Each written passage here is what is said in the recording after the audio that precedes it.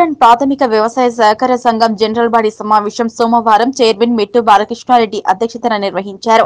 తూప్రాన్ మనోహరాబాద్ మండలంలోని రైతు సోదరులకు సొసైటీ ద్వారా ఎరువులు నాణ్యమైన విత్తనాలు అలాగే క్రాప్ లోన్స్ ఐటీ లోన్స్ త్వరితగతిన అందించాలని నిర్మానించారు రైతులు ఏ ఒక్కరూ లోన్ల విషయంలో ఇబ్బంది పడకుండా డైరెక్టర్లు సొసైటీ సిబ్బంది ప్రత్యేక చొరవ చూపాలని chairman Balakrishna Reddy vice chairman Deepak రెడ్డిలు పేర్కొన్నారు. వీఆర్ఓ వ్యవస్థ రద్దు నూతన రెవెన్యూ చట్టాన్ని ప్రవేశపెట్టిన సీఎం కేసీఆర్ రైతు బాంధవుడని కొనియాడారు ఈ సందర్భంగా సీఎం చిత్రపటానికి రైతులతో కలిసి అభిషేకం చేశారు. ఈ కార్యక్రమంలో సొసైటీ డైరెక్టర్లు యాదగౌడ్ సంతోష్ రెడ్డి దారావత్ గోపి సత్యనారాయణ సొసైటీ సిబ్బంది పాల్గొన్నారు. ప్రాథమిక వ్యవసాయ సహకార సంఘం ఈరోజు జనరల్ బాడీ మీటింగ్ పెట్టుకోవడం జరిగింది. చైర్మన్ వైస్ చైర్మన్ అన్ని విలేజ్ల డైరెక్టర్స్. ఎందుకు అంటే ముఖ్యంగా ఇప్పుడు ఫర్టిలైజర్ కానీ క్రాప్ లోన్స్ కానీ ఎల్డీ లోన్స్ కానీ దాని గురించి కొత్తగా బాడీ ఏర్పడ్డది దాని గురించి అందరం కలిసి మీటింగ్ పెట్టుకోవడం జరిగింది.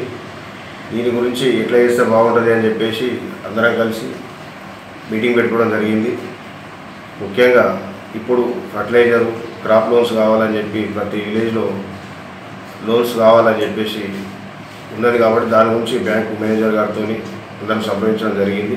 ముఖ్యంగా రైతులకు మీరు చేయాలని చెప్పి మేము ఈ మీటింగ్ పెట్టుకోవడం జరిగింది.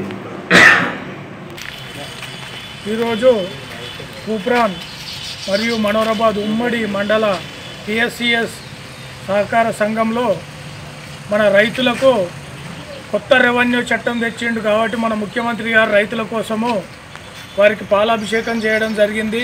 దీంట్లో భాగంగా మా వైస్ చైర్మన్ గారు డైరెక్టర్లు మా సిఇఓ మా స్టాఫ్ పాల్గొనడం రైతులు పాల్గొనడం జరిగింది.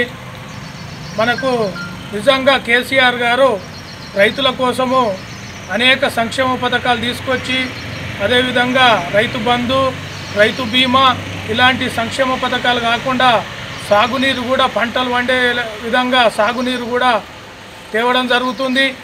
అంతేకాకుండా రైతులకు ఆఫీసుల చుట్టూ తిరగకుండా ఇబ్బందులు పడొద్దని కొత్త రెవెన్యూ చట్టంలో వీఆర్ఓ రద్దు కూడా చేయడం గర్వించదగిన విషయము. ఇలాంటి ధైర్యం అందరు చేయరు. మన ముఖ్యమంత్రి గారు మన రైతుల కోసం చేసిరు కాబట్టి మేము అందరము ఏకీభవిస్తున్నాము. దీనికి అందరము మద్దతు తెలుపుతున్నాము. జై తెలంగాణ.